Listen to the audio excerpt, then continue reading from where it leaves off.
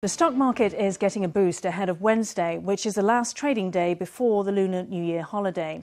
Today, Taiwan shares surged to close up 43 points or 0.44% at 10,013 points on turnover of 92.6 billion Taiwan dollars. Analysts say Taiwan shares are pushing higher following gains in US markets as investors react to the opening of the US government and dovish cues from the Fed.